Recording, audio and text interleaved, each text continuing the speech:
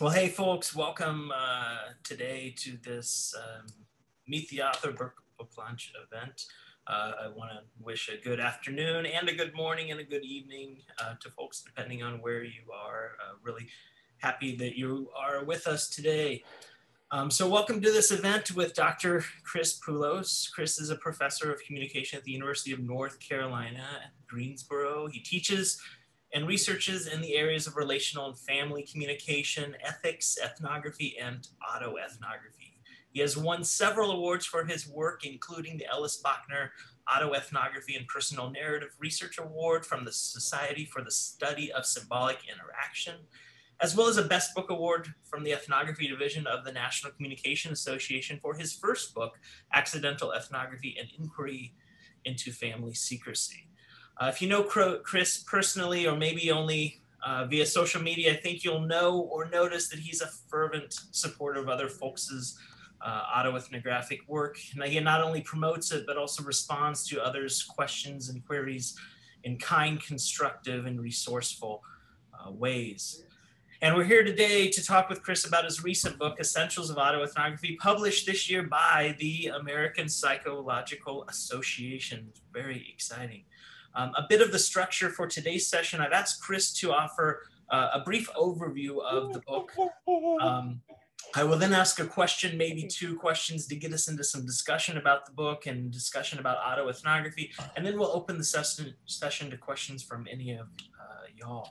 Um, as you think of your questions, uh, you can save them for later. You can throw them in chat. I'm here to moderate uh, the conversation. So uh, whatever you prefer to do, I will um, watch where folks are, are working. Um, we'll see how long we go. We're thinking between 45 minutes and an hour. So we'll, we'll just see where the discussion flows. So uh, Dr. Poulos, can you take us away? Sure. Before we go, I, before we start, I want to acknowledge Art and Carolyn. Of course, they have been uh, the real supporters and pioneers in this um, autoethnographic adventure we've all taken off on, and they've been sort of pushing me up all the way uh, ever since the very beginning. And in fact, that award named for them is my favorite award that I've won. So I love that. I also want to acknowledge two of my students, former students who are here, Corey over there in Florida and Sarah. Um, both were with me at the University of North Carolina Greensboro at some point in the past. And as if they haven't heard enough from me, they came back. So thank you for coming now. Um, so this was an interesting little project. I, I like those of you who have written books or have thought about writing books or haven't written books and haven't thought about writing books may or may not know that usually you try to come up with a proposal for a book. You have an idea for a book and you write a proposal for it. This was the opposite of that. The APA sent me an email saying um, we're doing this series um, in qualitative methods, which I was actually a little surprised they were going to do. But um, it's a book series and they um, they wanted somebody to write on autoethnography. And i said well tell me more. And we started talking about it. And the next thing i knew i'm getting this i'm getting an assignment like a student. Like this i haven't had one of these in a long it's been a long time since i was a student. I haven't had an assignment like this in a while. Basically they wanted to write me to write a hundred page book. That's what they wanted. No more than a hundred pages. And i think that's because as those of you who have bought it know, it's $19.99, right? They wanted to keep the price point for, I don't know how they figured this out. They probably have smarter people than me with numbers, but all the books in the series are no more than 100 pages. When they, and then they give you this outline they want you to follow. So the series is followable by everybody. It's um, standardized. So they get there's so I'm going to do that here. I'm going to just give you the overview there's a conceptual foundations of autoethnography chapter, that first chapter, and they asked me to, you know, what I did there, and sort of we we negotiated all over over all these points, but um, you know, they wanted a what is it, a history of it, a rationale for doing it, and some history behind it, along with sort of setting it up in the traditions um, that it might align with conceptually. So that's what I did. I wrote what I think of as one possible history of autoethnography. Um, you could give others, other people have given others, and it's it's. But in my way of thinking about it and looking at it, and I'll be the first to admit this is colored by my own background and experience. I have an undergraduate degree in philosophy, a master's degree in religious studies, and then my PhD is in communication studies. So I see the, you know, the autoethnographic impulse is an interdisciplinary uh, impulse. And you know, I'm grounded in communication studies, but I don't, I don't worry about that as much as some people in my discipline do. Um, because I see conceptual foundations reaching across those sort of artificial territories we've constructed. And the most beautiful place to see that we just were at, several of us were just there, um, sadly virtually, but we were at the International Congress of Qualitative Inquiry. And I might as well just give a shout out to Norman Denzin because he's also been a huge supporter of me and, and this work and he made that congress possible and it's a i it's it's an electric experience every time i'm there talking to people from you know 50 you know i don't even know how many disciplines something like 50 different disciplines and how god knows however many countries um, all over people all over the world. And a beautiful thing, autoethnography is catching on around the world. There's been some really intensive, intensive attempts to get um, by the Brazilian contingent who were there in force at ICQI last week uh, to get autoethnography going in Brazil. And um, with the help of some of the scholars from the from the Congress here in the U.S. who are Brazilian, um, so I see these tendrils sort of reaching outward and coming in. And um, so what I did was trace, you know, my first sort of sense of what sort of philosophical or theoretical foundations that link up and also practical foundations that link up with autoethnography. I trace the, um, a little bit of the history of existentialism, how existentialist philosophers wrote their philosophy in fictionalized narratives. Um, we're talking Camus and The Stranger, Sartre and the play No Exit, and so on, Kafka and um, his books, and um, and phenomenology, which sort of um, wants to study the world from in situ, from it, from through experience, symbolic interactionism and social constructionism, narrative theory, dialogue theory, and so on. So I give a little history of that in what is it like all that, you know, if we're looking at the book, it's 16 pages or 19 pages, right? And then and then the, the next part goes into sort of how to do it. So there's a doing autoethnography chapter where I talk about how I go about uh, approaching autoethnography. Um, and I'm going to just call out art again in the background there. It's not a method, right? It's a way of life right? And so we we're you know as we're living we are doing autoethnographic work participation observation engaging in dialogue with significant human beings in our worlds. Um, and then sort of as we're doing the writing part of it the doing part of it in that sense we are um, looking at how we get our emotional spiritual social um, philosophical, intellectual spirit on the page so that readers can then um, engage with us in some kind of a, a, a, fruitful dialogue. And then, so from there, there's kind of this structure of the writing, how I do, how I go about the writing of autoethnography.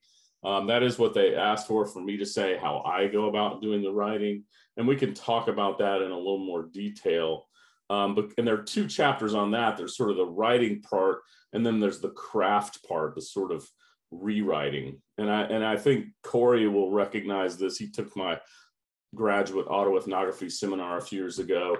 All you know, I sort of claim in there um, in that class blatantly, all good writing is rewriting.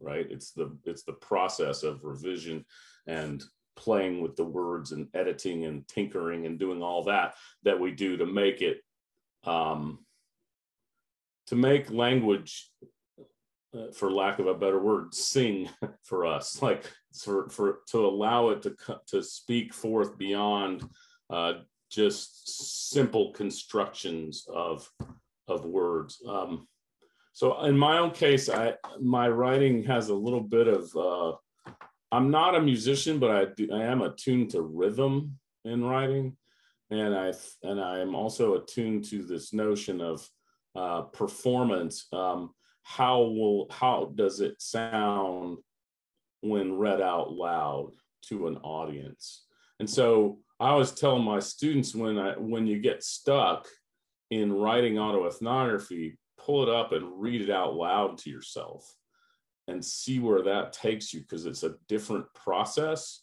than just writing. It's a, maybe a different cognitive process. I'd have to ask the psychologists in the American Psychological Association to tell me the truth about that. But um, I think it is. And it does something to shift it and it makes it more, um, perhaps, you know, I've said before, when I, you know, I said this the other day, when I'm writing autoethnography, I'm very often seeing the faces of the people in the ICQI group of autoethnographers, Art and Carolyn and Ron Pelias and um, Elissa Foster and Lesa Lockford and Tony and other all the other friends that I've made in that in that audience as kind of muses for me. I'm speaking to you all. I'm speaking to my community. I'm writing to my community. Yes, I'm right. As I said the other day in that in one of the sessions, because someone asked about, well, isn't that just writing about yourself? And I said, absolutely not.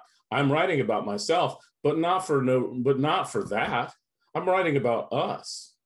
I'm writing the we into being. This isn't me doing me search. This is me reaching with you towards some larger meaning. Um, it's not something that we have to apologize for, I don't think anymore. I'll ne- and I'm like calling out art all over the place here, but I'll never forget one day he said in some NCA meeting, I think it was, it might have been QI. He said something like, "We don't have to keep justifying ourselves, do we? we should stop that." And I agree with that. Like I think you know now we can say we have claim. Heck, you all have been involved in my favorite gesture.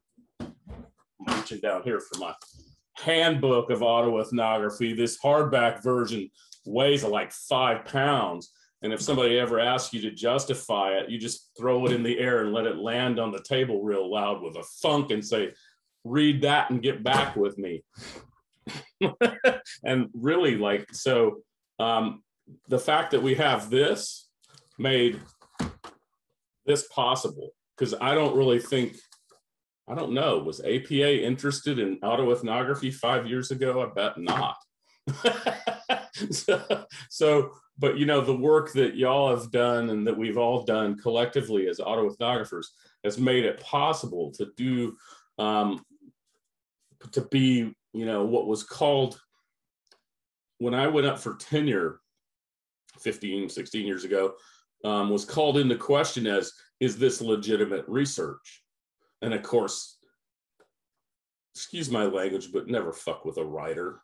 Like, yes, I gave an argument back, and then a hundred other people did too, um, in which um, we did say, you know, we taught, we taught, we schooled the committee on why, in fact, it is legitimate um, human social research. So that was a little bit of a of a side note there, but um, and then so then the book sort of wraps up with questions about variations that we've seen coming forth. You know, Carolyn years ago started writing sort of what she's called evocative autoethnography and and um, and then people started well doing critical autoethnography and poetic inquiry and um, all kinds of variations, uh, layered accounts, performance autoethnography, social fiction, collaborative autoethnography, all these variations on this, this mainstream now of autoethnography have leapt forth from the talent and the, and the wondrous community uh, that's grown up around this way of life. And then the trickiest part, this was, this is just really like, I have honestly don't know what to say. I got, I ended up with four pages to talk about ethics. I need more than that. Um, I teach ethics, you know, so I can talk more about that. Um, I've been teaching that for 15 years. Um, but I didn't have space to go very far. Uh, and, uh, and I sort of, um, I want to subs- I subscribe to a kind of dialogical relational ethic of care in doing autoethnographic work. in the hope that I don't cause harm to others, but also that I take into account the relationships that are implicated in the work and that um, the work um, impacts in some way. Um, so I've been, I've had to be very careful. I've been careful about that, but maybe not careful enough. Um, I will say, you know, I wrote a lot about secrecy, and that's a tricky subject. Um, and you know, but I've also it's a tricky subject because people don't want that exposed, right? That's why it's secret. But on the other hand, I you know I wonder about how health healthy that is to to to keep it to always keep them close.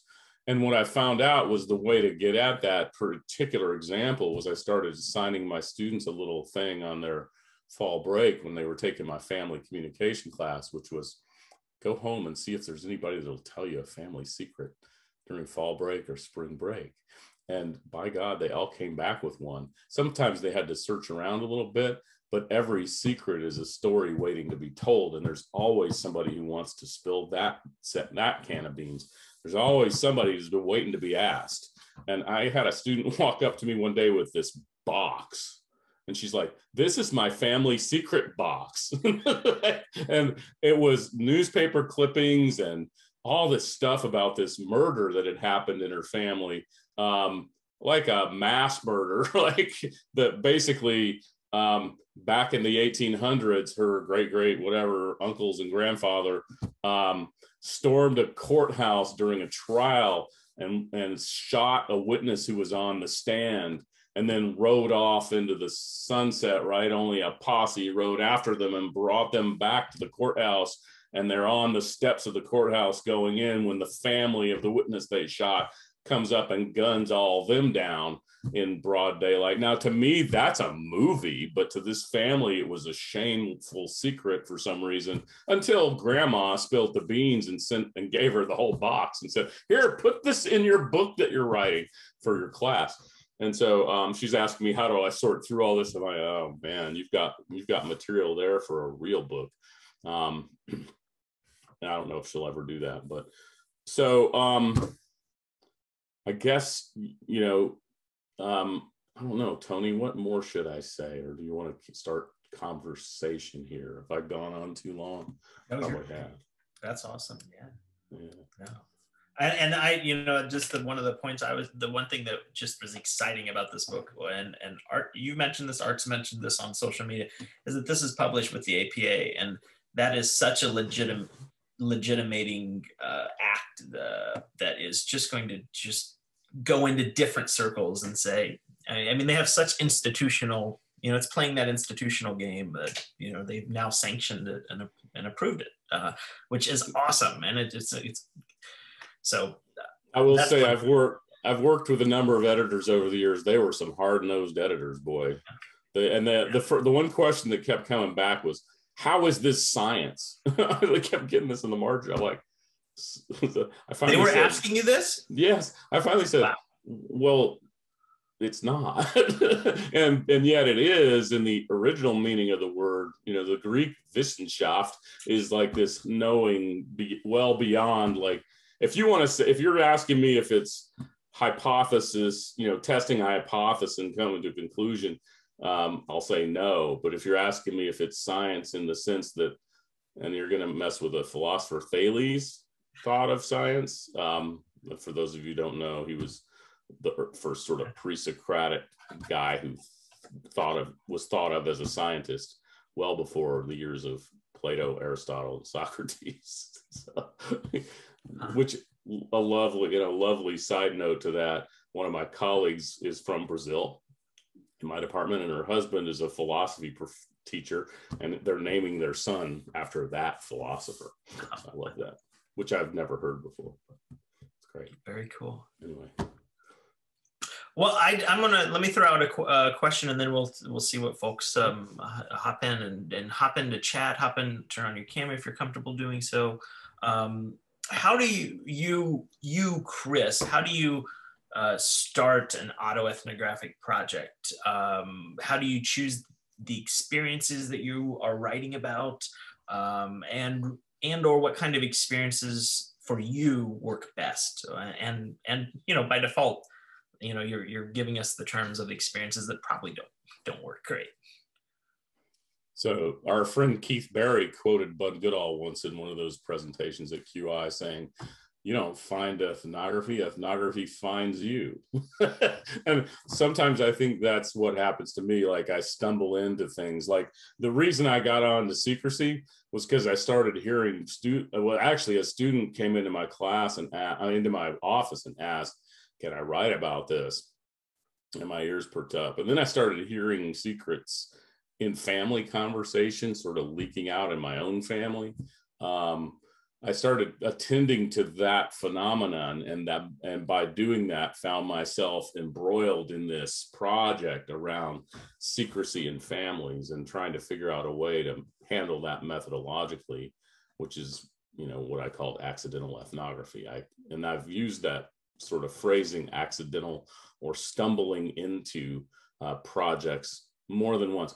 I'm um, I'm not a very uh, like there was a person in my workshop at QI who writes outlines and really was excited about having discovered the magic of an outline. I got to tell you, they gave me an outline for this book. It nearly killed me. Like I don't usually do that. I usually write uh, much more organically than that. Um, and so you know the, these projects but these projects are all things that maybe choose me in some way but also that i think are important to write about at the time um, i do i have focused a lot on death but in my defense i've had a lot of death in my life and uh, when i was a child my uncle died on thanksgiving day followed by three other family members in the next year and a half um, the year Bud Goodall passed away, 2012, 2013, I lost seven people in my close circle um, in rapid succession in 11 months. And then the year 2019, when I was writing this book, the fall of 2019, my father died in, on July 5th, 2019. A month later, a friend of mine's, a dear friend of mine's wife died of cancer. A month later, um, the best dog I've ever known till I got this one or this one, but the, one of the greatest dogs of all time in our family died. And um, then on my birthday, my dissertation advisor from the University of Denver passed away, and two days later, a dear friend of mine died. So um, there's been a lot of loss, and um, and I focused a lot on that. There's been some violence in my own background that I've focused on. Um, there are a variety of things. I don't have, I can't say that I have, um, I don't know. I don't know if I engineered all that or if it kind of worked me, you know. I can say I sit down to write and I'm surprised sometimes at what comes to me, which is not to say I don't have an idea. Like, and sometimes I'm surprised how it comes. So I'll just give a quick example of that.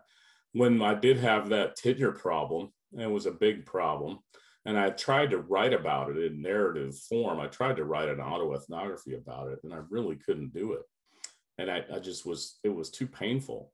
So I set it aside. And a couple years later, I sat down one day in my office and started writing. And I wrote a performance piece called Transgressions, which I had never done before about that that tenure process. And I, for some reason, that all came to me. I wrote all that in kind of a one-off uh, three-hour writing jam session where I was using a Greek chorus and pieces of Macbeth and and Kafka's The Trial and all these things for inspiration. Um, and I would say that one worked me maybe unconsciously for a lot of the time that it was being written, and then I and then I just sat down and it kind of wrote itself. Um, but I do I do find I do seek um, points of fascination, and sometimes for me those are often for me those are the dark sides of of things like trauma, loss, grief, secrecy, stigma, mental illness, abuse, addiction, dysfunction. But I also seek out sort of the other side, which is dreams and imagination and memory and and um, lately I've been playing around a little bit with what I would call comic autoethnography. I don't know if it's funny, but I wrote a I wrote a collaborative autoethnography with my anxiety for QI last week, and people liked it. Anxiety wrote part of it, and I wrote part of it, and um, we performed it together.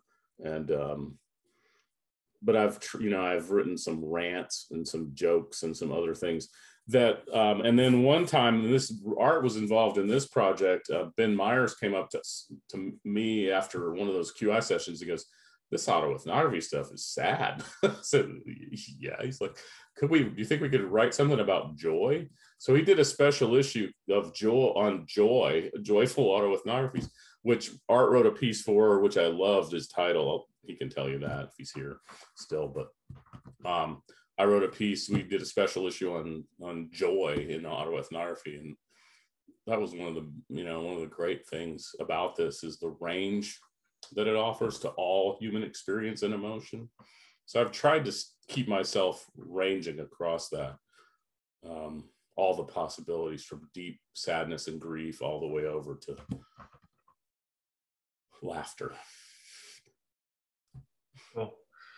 Okay, so we have a, a few questions. One easy one. What was the what was the philosopher's name uh, that you you mentioned? Um, Thales, T H A L E S, but I think in uh, Portuguese they say Thales. so, How you spell it? But it's Greek. T H A L E S, Thales.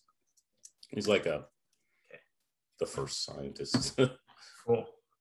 Uh, next one from Ian. Um, what do you? How do you? What are the differences? Uh, do you put? But do you use when you think about autoethnography versus uh, narrative? Hmm.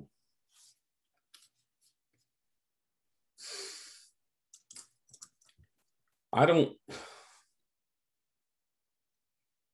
I I think of lines between genres as very blurry. They're dotted lines.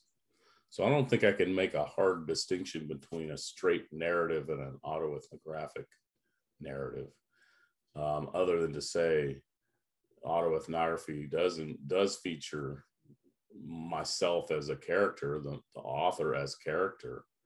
Um, not all narratives do that. Um, I think a good autoethnography doesn't hit you over the head with that, but it also does um, let you know that it is true that you are speaking from your own experience. Um, but you know there are there are so many forms of writing about the self and writing about experience. There's autoethnography, there's memoir, there's creative nonfiction, there's social fiction, there's um, poetic poetry, poetic autoethnography, performance auto.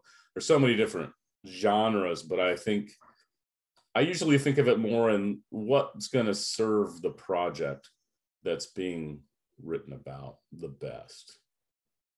And for me, that's most often writing in this way, this autoethnographic way. But it may not be true for everyone. I think that's one of the things that APA may be finally realizing, or and hopefully maybe the rest of uh, academia is realizing that we have a big space here. We all can fit. There's no, there's only limits that we impose, self-impose on ourselves. Awesome. Thank you. Thank you, Chris.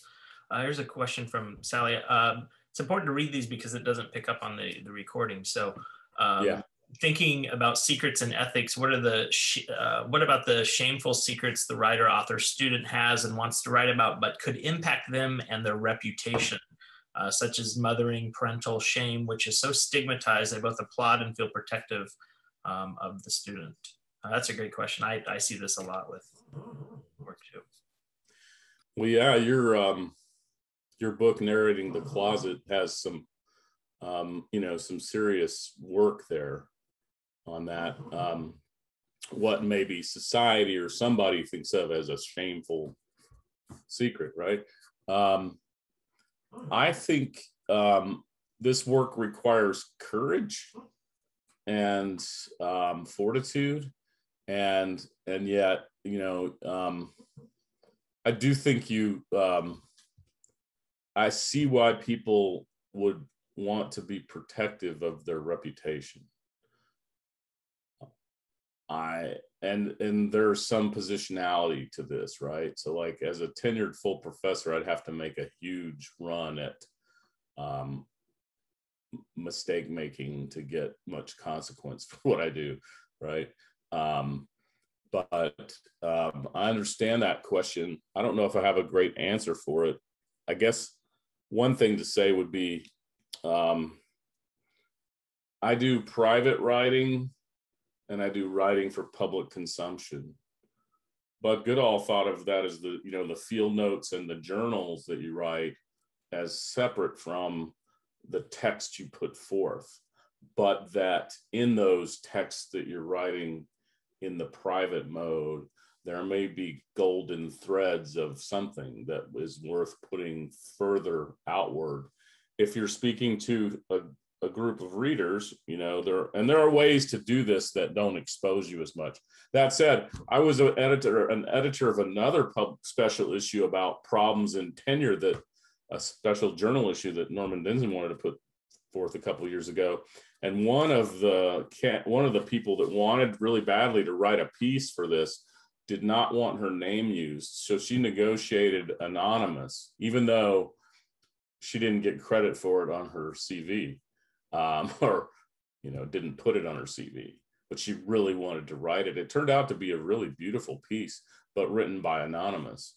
Um, so I think she needed to do that for her own well being to put it out there. Um, but I don't know. Um, I understand why you would shy away from writing about so-called shameful secrets, but also I, I've um, haven't. I've I've written about those things in my own life, for better or for worse. Uh, can I jump in here? Yeah. Because um, you know I really like the ways that you've dealt with this in your writing by you know, not naming people always, but giving them positionality of father, mother, son, whatever, so that it's not, I mean, people probably could figure it out if they work on it, but it's not immediately clear right. who you're talking about. I think that works uh, beautifully. Uh, yeah.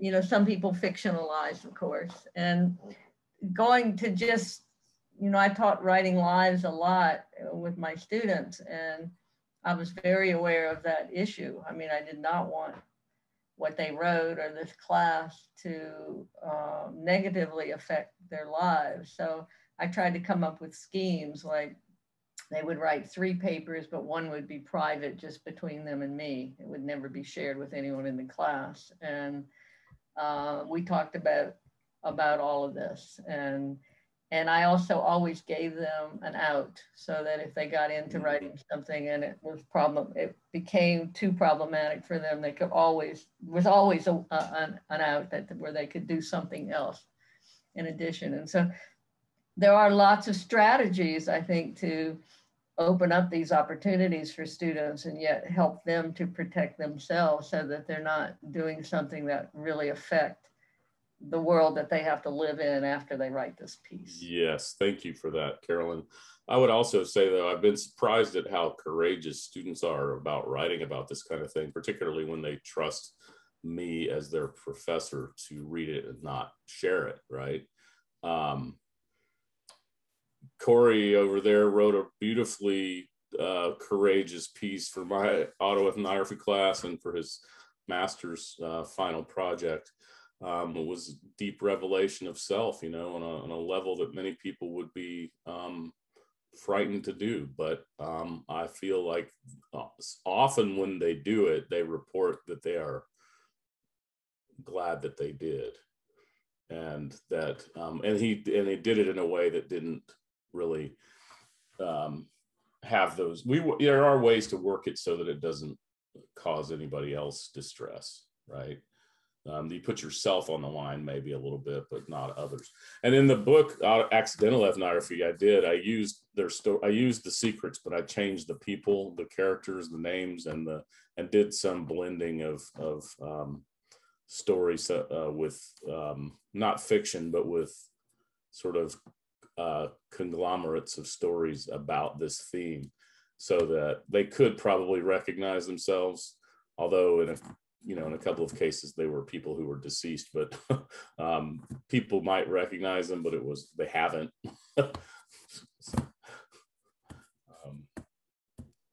or they haven't said anything, but maybe that's a secret. Um, Chris, we have two audience questions, but before we get two sort of questions about audience, not yeah. audience, um, and then, but somebody also asked, uh, uh, Petra asked a great question about ethics related to this discussion. Um, what do you think about writing about abusive people, not not for revenge, but because it's my story? I think that silencing the survivors in the name of ethics is violent. I guess it links to the previous question. Yeah, I agree. I you know I think some people have done that beautifully in this handbook of autoethnography, the first edition at least. I don't know if it's uh, what's making it to the second edition, Tony, but um, the um, this um, there's a couple of them. Um, well, Carol Rambo's piece called "Twitch" is, does not pull punches, um, and there's one by Marilyn Metta. I don't know her, but um, it's about um, abuse and it's intense and it's hard to read and it has pictures and um, you know, and and my students were. Um, it's called putting the body on the line, embodied writing and recovery through domestic violence. And then years ago, in a collection, Carolyn and Art did one of those composing ethnography or one of those. There was a Karen Fox who wrote a piece um, from three different perspectives, like from the abuse, the, from the sort of the victim, the perpetrator, and the and the author In kind of that one's I'll have to say that one's hard to read, but it also I believe uh, made a difference.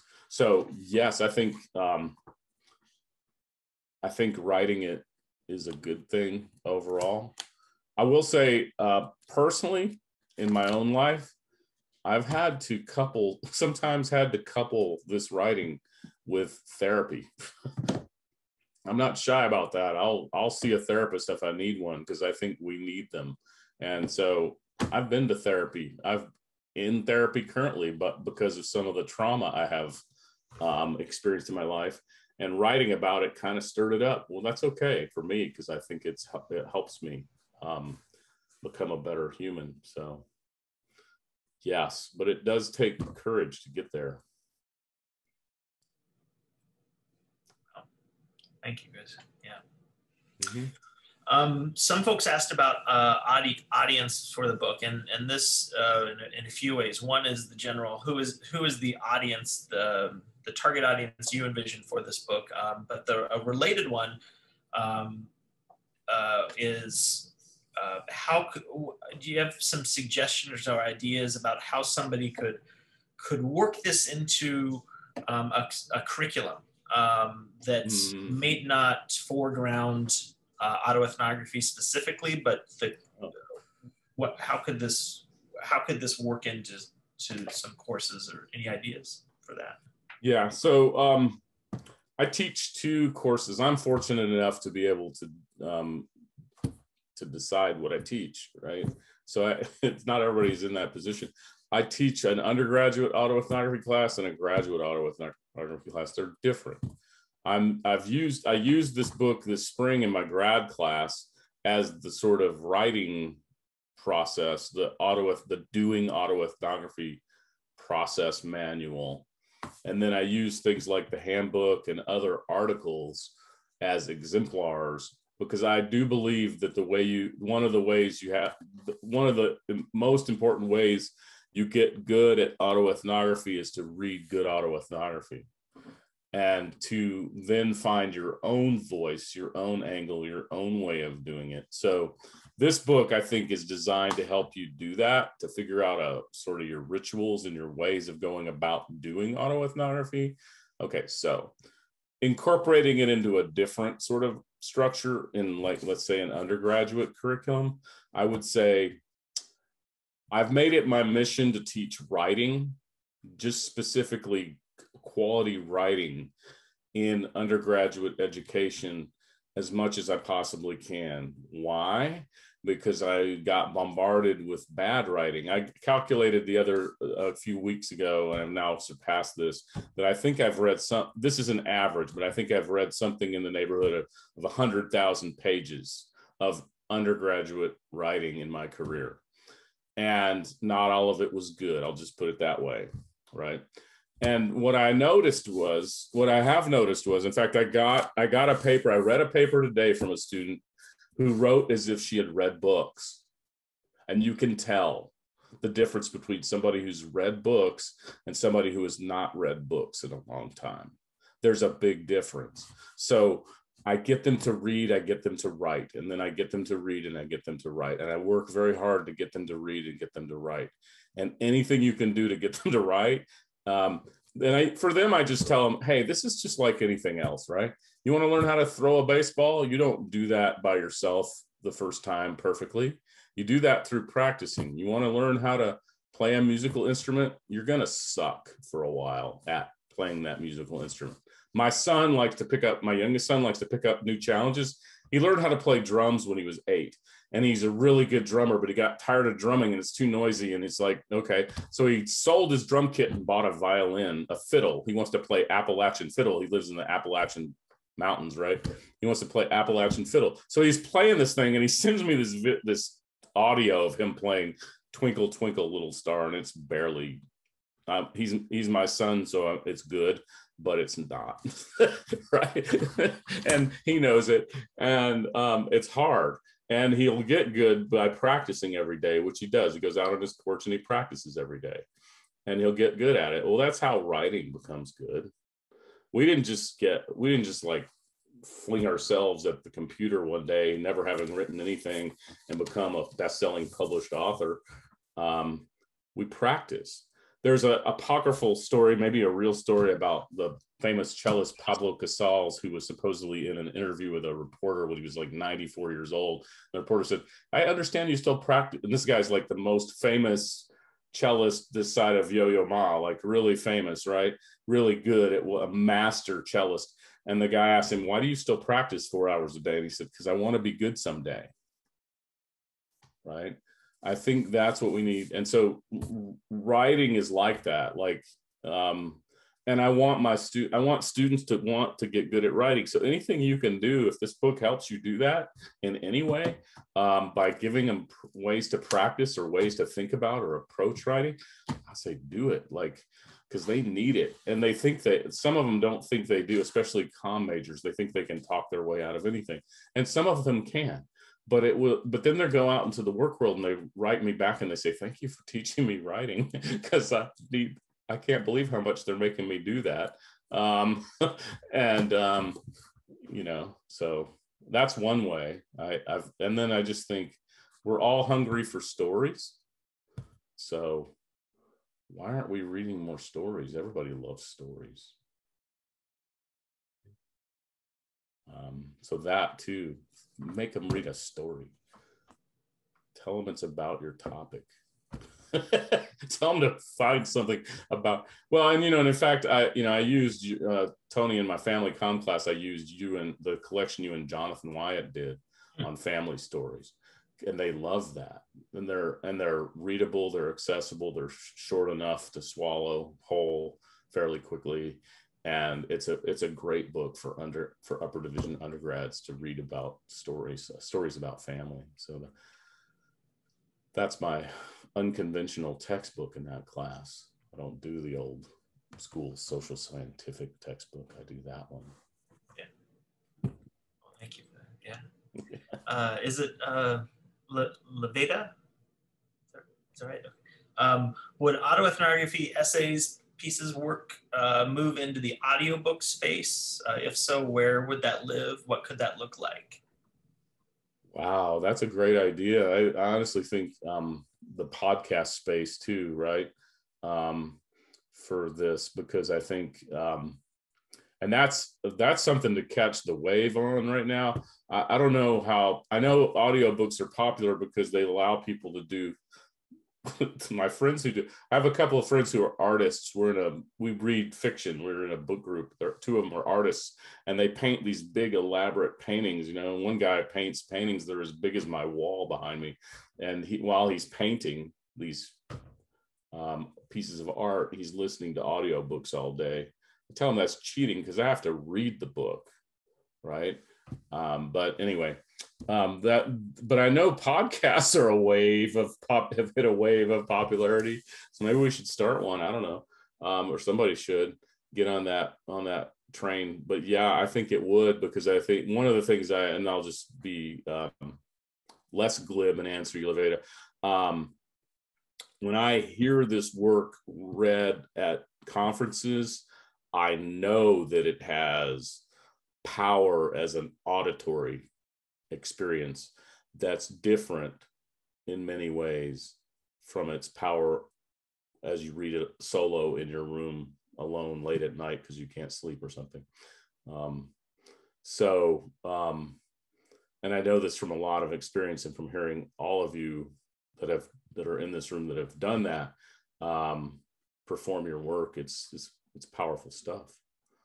Um, it's it can change you. So yes, Yes, yes, yes. I was told once I went to do a thing. I, this is a side story. I was um, I got intrigued by doing voiceover work, and that, so I, there was I saw I got this flyer, and there's a, a, workshop at a local community college from a guy from Hollywood who was doing uh, who would do an analysis of your capacity to do voiceover work, and he did this workshop, and then he recorded us and uh, gave us advice on sort of how to market ourselves, but how to sell our voices. I never did it, but he told me you have a fatherly voice. You should read. You should do um, nature documentary voiceovers. People will trust you as you talk about, I don't know, animals getting eaten by other animals or something. Um, I was hoping he would say I'd be good at like a good cartoon or something, but he went for animal documentaries. But anyway, um, the voice, the voicing of the work is really important. So I think it's a good, I think, and it's a story. So yeah, it'll fit. You may have to leave out the citations, but that's okay. I had a, just a quick aside. I was uh, skyping, uh, skyping uh, in 2014 with my family communication class with Robin Boylorn, and we used her book Sweetwater.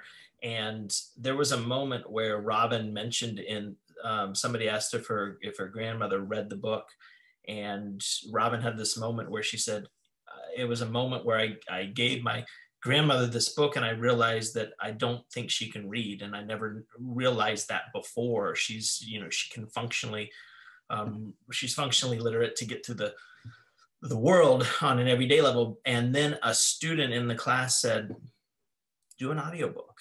And it was this moment in the class that was so mm. so powerful and in terms of mm. access. And uh, so it was really cool. That was that was a great great question.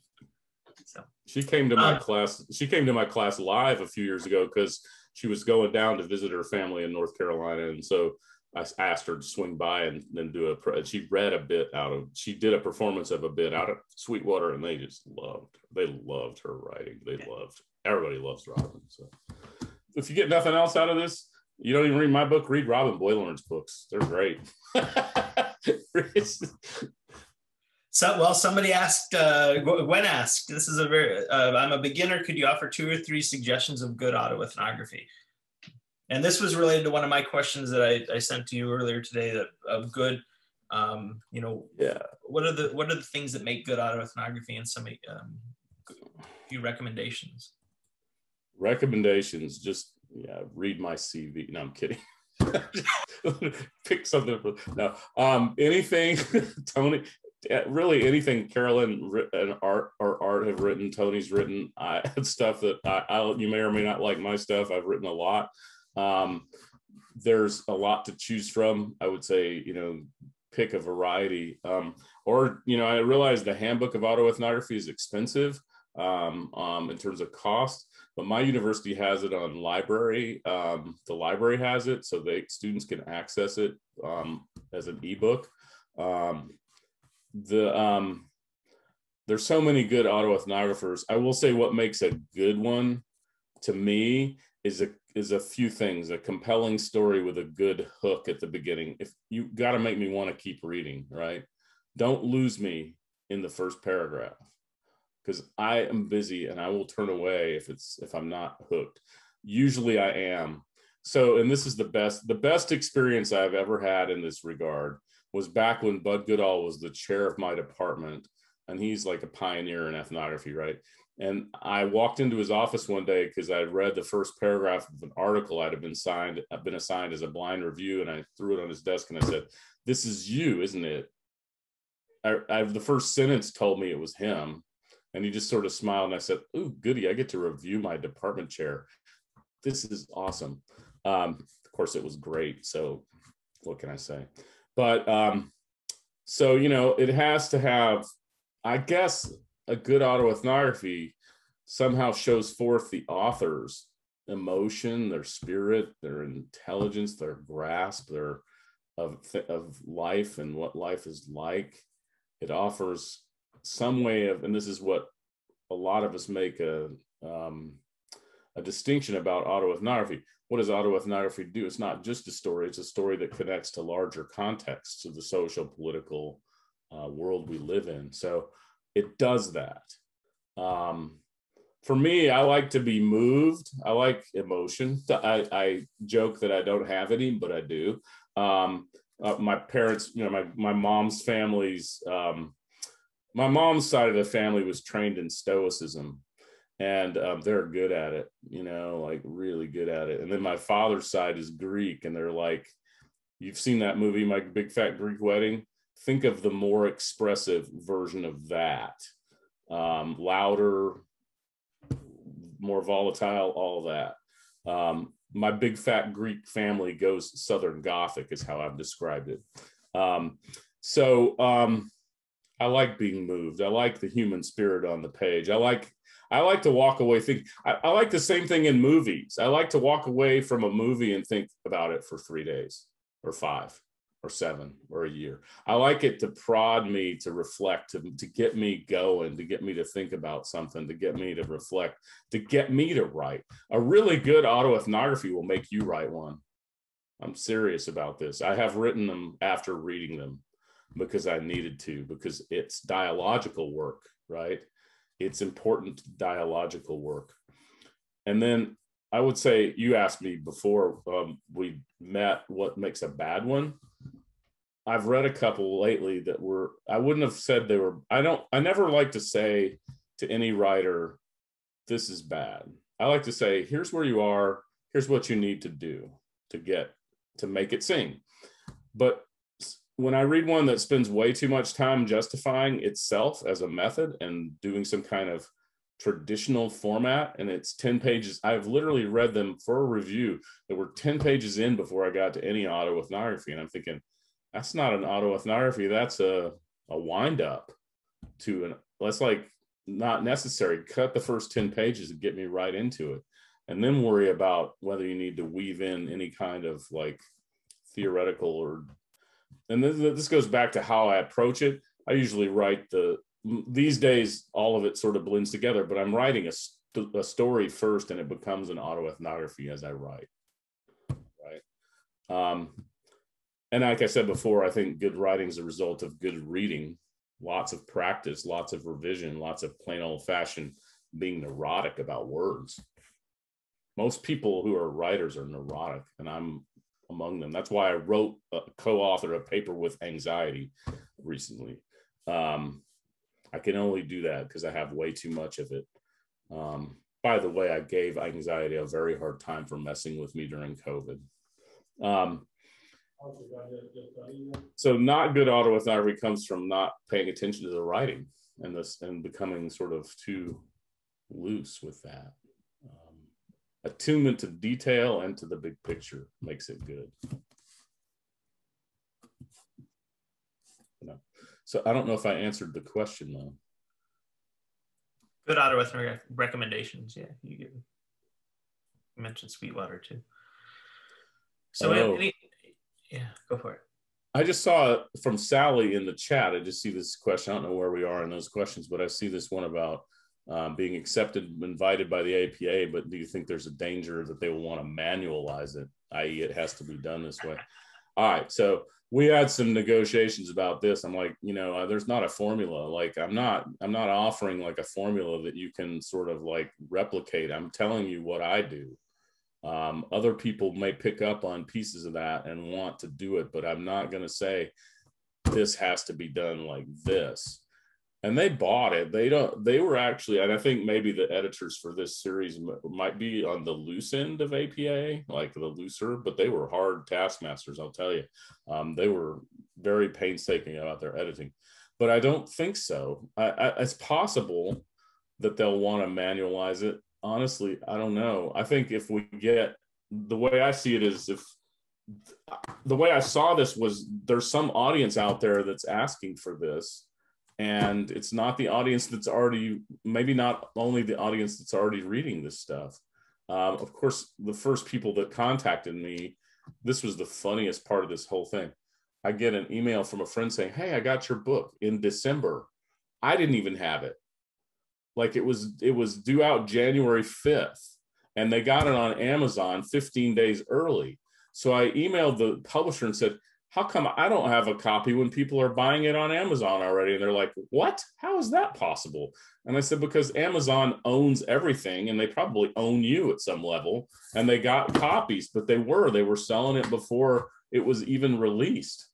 I don't know how that works, but I didn't mind because they were buying the book. But then I got I got similar emails from like half a dozen other people. It's like, hey, I got your book. This is great. Or on Facebook, hey, I got your book. I'm like, what? I don't even have it. Like, I mean, I have the original, but I didn't have my copies. so, um, anyway, that was the best part. uh, I don't know. Maybe it could get manualized, but I don't worry too much about that. I think I have more things to worry about than that, like my own anxiety, neuroticism, and general levels of trying to pull it together and write. Any other questions, thoughts, uh, folks want to ask?